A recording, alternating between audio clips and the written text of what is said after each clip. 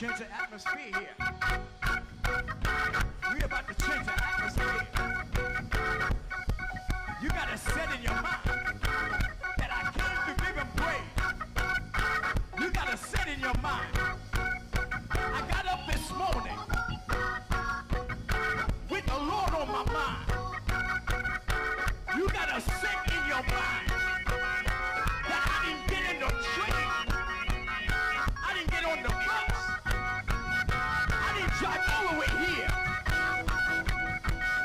look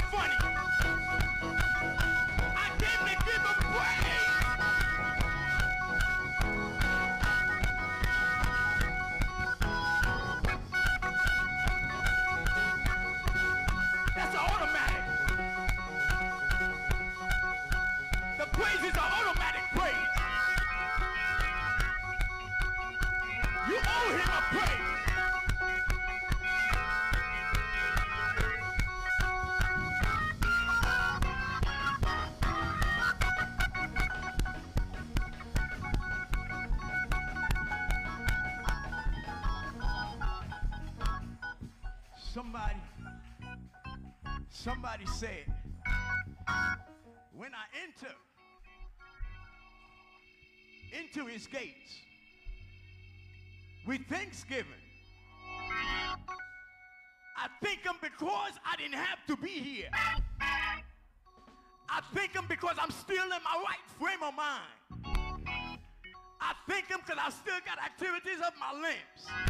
So I owe him a praise.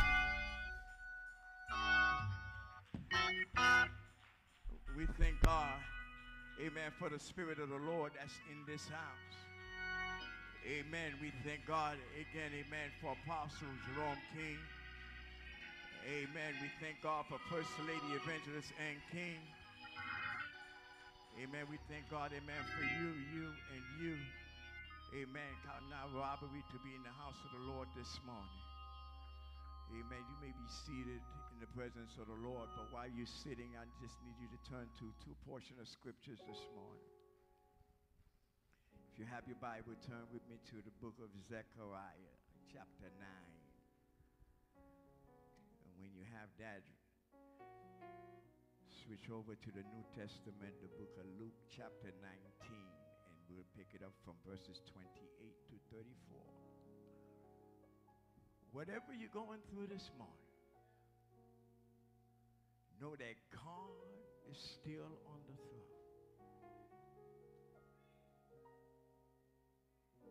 When you have it, say amen. Zechariah chapter 9, verse 9 says, Rejoice greatly, all daughters of Zion. Shout, oh, daughter of Jerusalem. Behold, thy king cometh unto thee. He is just in having salvation, lowly and riding upon a donkey, and upon a coat the foal of a donkey. Turn with me to Luke chapter 19, verses 28 to 34. When you have it, say amen. I feel good this morning. I don't know about you, but I feel good this morning. Verses 28 reads, And when he had thus spoken, he went before, ascending up to Jerusalem. And it came to pass when he was come nigh to Bethphage and Bethany, at the mount called the Mount of Olives he sent two of his disciples, saying, Go ye into the village over against you, in the which at your entering ye shall find a coat tied, whereunto yet never a man sat loose him and bring him hither. And if any man asks you, why do ye you loose him? Thus shall ye say unto him, because the Lord have need of him. And they that were sent went their way and found even as he had said unto them. And as they were loosing the coat, the owner thereof said unto them, Why loose ye the coat? Verse 34 says, And they said, The Lord have need of him. I wanted to draw your attention this morning, I would leave these few words with you. The Lord need it. Uh, Zechariah contained, when you read it, it contained clearest and the Messiah in that passage among the minor prophets. Amen. In chapter 9, he pictured Christ in his coming first and second coming. According to Zechariah, Christ is coming as a righteous king, ruling his people from Jerusalem. Amen. Zechariah, when you read the book and you study it, his name means Yahweh remembers. In other words, whatever you're going through, know that God didn't bring you this far to forget about you. Amen. He in his book he bring over with he he's bring over hope that God would remember his promise to his people. Amen. His people, he's talking about the children of Israel. Amen. That has always, amen, turned their back on God. Amen. Knowing, amen, how God even brought them over. Amen. They still, amen, find themselves turning back to worship other God. But God still remember them. Amen. He promises people. The prophet used simple structures in this book. Amen. He uses simple structures. when you read Zechariah, you'll find he has eight vision in that book. Amen. Zechariah 1 and 1 stated that I lifted up my eyes again and look and behold a man with a measuring line in his hand. Amen. In chapter 6, verse 15, he stated that they that are far off shall come and build in the temple of the Lord. And ye shall know that the Lord of hosts have sent him unto you and it shall come to pass. In other words, whatever the Lord has promised and whatever he has stated that he will do, he will do. In other words, sometimes we look at times and we try to figure out why it hasn't happened yet. And the Lord has spoken it, and I know his promise to me, amen, that what he has done, but I'm still waiting, do the Lord remember? But you must understand now, for you to be in that place, uh, to be, amen, in uh, a place where God, amen, will remember you and will, amen, do the things that you look for him to do. Amen. You must follow some instruction. Amen. It doesn't come overnight. It doesn't come by, amen, you doing amen, whatever you want to do and however you want to do it. Amen. When you read, amen, in the book of Luke, amen, chapter 19, amen, understand that Jesus did not come when he came as a military king. Amen. Jerusalem, amen, the Jews was looking for a king amen, to come riding, amen, on a horse, amen. They was looking for an earthly king. But amen, Jesus showed up, amen, on a coat, amen, humble. He came, amen, to bring peace. That's why he said, Peace I give unto you. Amen. Zechariah, amen, then records when he says, Rejoice greatly, O daughters of Zion. Shout, daughters of Jerusalem. See your king come, amen, to you righteous and having salvation and riding on a donkey. Amen. He had been prophesied.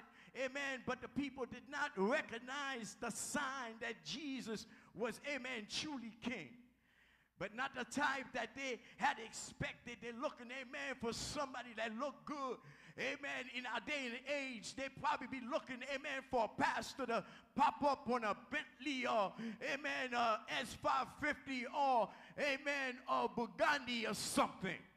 But Jesus, amen, had all, amen, access to whatever he wanted to. But he had to show the world that he had to come humble, amen, before a people. So that way, that way we, when we take, amen, that, amen, that that figure of God, of Jesus Christ, amen, we don't go over ourselves, but stay humble. Amen. The Lord needed. Here we find Jesus had approached, amen, Jerusalem. He asked the disciples to go to the nearby village, amen, where they would find a coat. In other words, amen, they were instructed, amen, to untie it and bring it. Amen. They didn't ask no question, uh, who am I going to see and who do I say sent me or what do I do? He said, just go and do it. That leaves us, amen, with the instruction. If the Lord said do it, just do it. Amen. Just do, amen, what the Lord tell you to do. Amen. It's the word now that we find, amen, that you out to obey God and keep his commandment. Amen. Jesus, amen, asked them to tell them, amen, if anybody asks you, amen, tell them that the Lord need him. Amen. Interesting that how, amen, Jesus, amen, can be God and man in the flesh. Amen. And has, amen, to in the need of something. But let me straighten the record out. Jesus don't need anything from nobody. Amen. He owned the cattle upon a thousand hills. The Bible says that the earth is the Lord and the fullness thereof and all that dwell therein. Amen. So in other words, the Lord don't need anything from you. Amen. If anything, we need something from God. That's why we have to always, all the time, acknowledge him for who he is. Amen. Amen. We have to acknowledge, amen, that God is sovereign. Amen. That God is peace. Amen. God is all self-sufficient. Amen. God don't need your money. God don't need your tithes. Amen. In other words, he don't need you to bring him anything. And he can do it all by himself. But at the end of the day, he gave you a promise. He said, bring it into the storehouse that there may be beat. Amen. So another word that the gospel can go forth. Amen. Another word, what you do is what when you give, amen, there's some people, amen, that you cannot reach to, but amen, that the apostle is able to reach to and give a blessing. Amen. Sometimes we're not even thinking about blessing nobody on the other side. But amen, God had made it a way, amen, even you giving, amen, he gives you a promise that, amen, you'll never go without. Amen. Another word, all you got to do is obey God.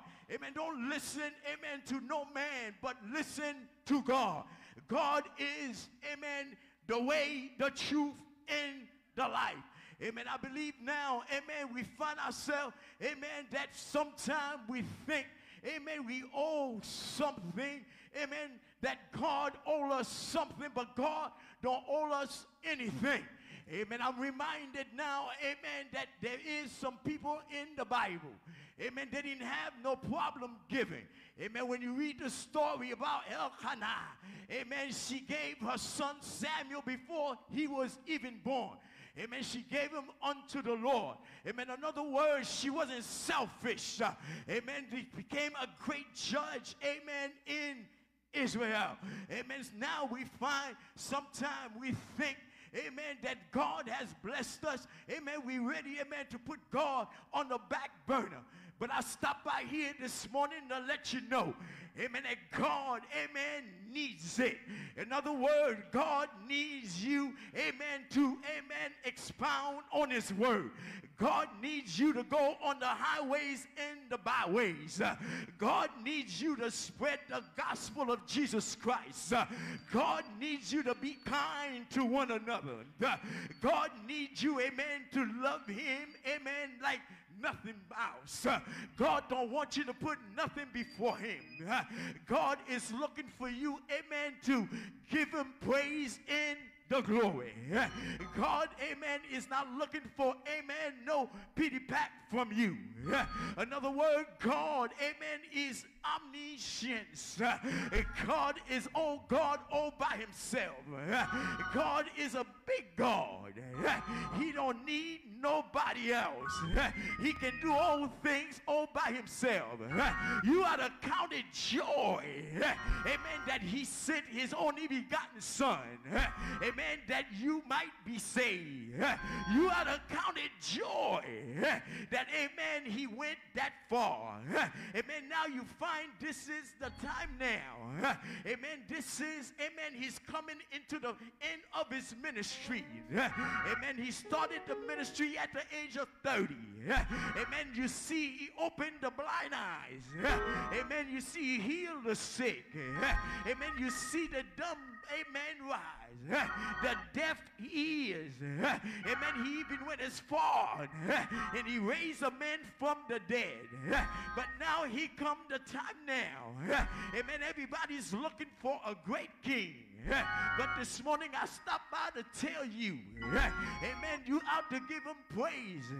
Like they were singing, Hosanna, Hosanna. Blessed be the name of the Lord. You ought to take up your voice and amen and say, Hosanna. I thank you for coming through. I thank you for coming through. I thank you for dying on the cross. Amen. He still had time let me show you how God, how faithful God is. Amen. Now, between now and the crucifixion, he had time to change his mind. But he had you and I on his mind. Uh, oh, good Lord God. Amen. So he said this thing. I'm going to go all the way. Amen. If I die, I'll die for the Lord. If I go now, the Bible says, amen, in old ways, somebody say, who shall I send? Somebody says, send me, Lord. Everybody want to go. Are you ready to go now? The time is now. The Bible says the kingdom of heaven suffered violence. Violence taken by force. It's time now to go to the trenches because the Lord needs it. He just needs you to tell somebody that Jesus saved. Don't keep it to yourself. This great salvation. How can I escape? This thing has been too good.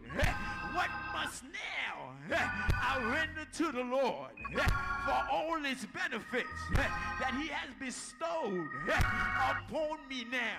I believe it was the Apostle Paul. He said, I'm indebted to this thing because God, He stepped in my life when I was on my way to a devil's hell, sinking in my sin. That's the purpose of the palm. I was sinking in my sin. I was going to die. But God, He saw it fit. The Bible says, for God so loved the world that He sent his only begotten son, whomsoever believe in him now. Do you believe that the sun has came, the sun has shined, the sun that saved your soul? Good Lord God. Yes, Lord. I believe God deep down in my soul. This is the time now. That's the time don't look for nobody. Don't look for a great king. That's what Israel was doing. But they passed him by. Jesus came through. He's coming through right now. But you're waiting for a special beat.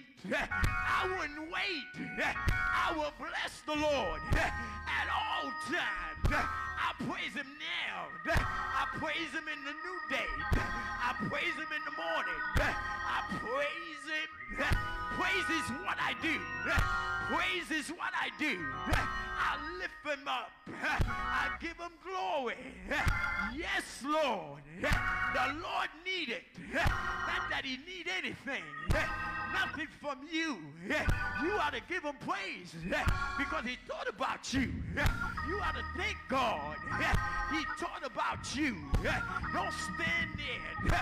And pity pat God. Like you're giving him favor. Favor is God.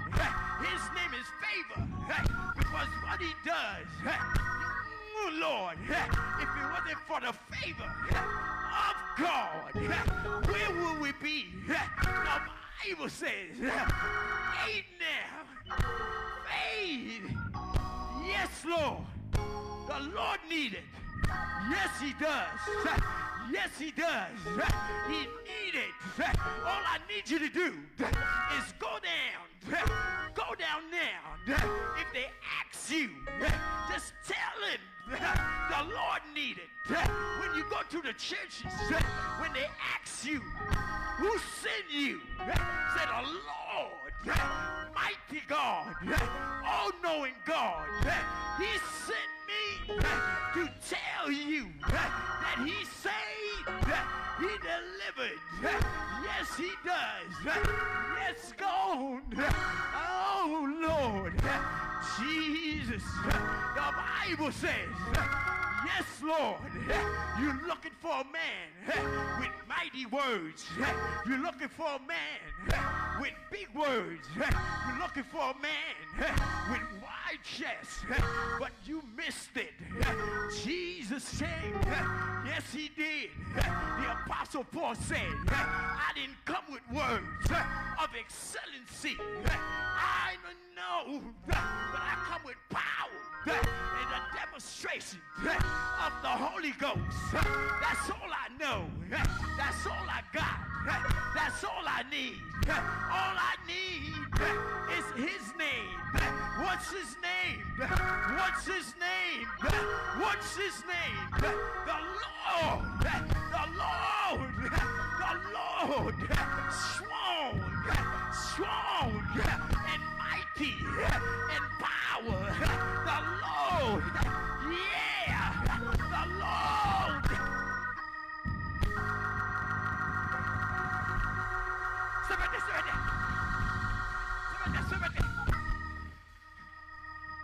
Lord needs it. All you got to do is open your mouth and tell him, God say, deliverance is in the house.